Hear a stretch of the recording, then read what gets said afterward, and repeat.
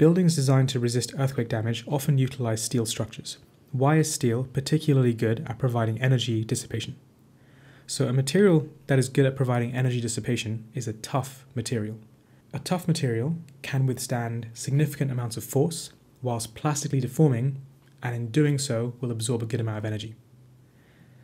So, toughness is comprised of two properties. One is how strong the material is, and the second is how ductile it is. So, if a material is stronger, that means it can withstand more force. A strong material is one which has a high ultimate tensile stress, which is the maximum stress it can withstand before it breaks.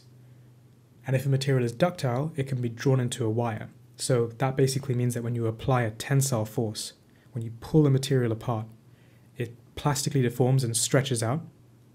So stronger means a higher force withstood.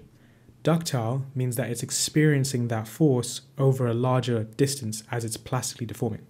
So more ductile means it stretches out, experiences a force over a longer distance, and work done is force times distance. So if a material can withstand more force over a larger distance, it can have more work done on it and therefore dissipate more energy.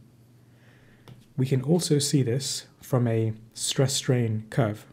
So if this is stress, if this is strain, the area underneath this curve is work done per unit volume, which is a measure of toughness.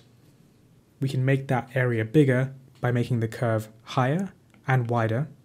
Making it higher means making the material stronger, because higher stress means it's a strong material. Making it wider means it's more ductile. If the plastic deformation region is longer, that is indicative of it being a ductile material. Okay, so let's look at the options. Option A steel is ductile and able to deform plastically. Yes, that makes sense. Option B steel is hard and able to deform plastically. So if it's hard, that means it can resist surface indentation.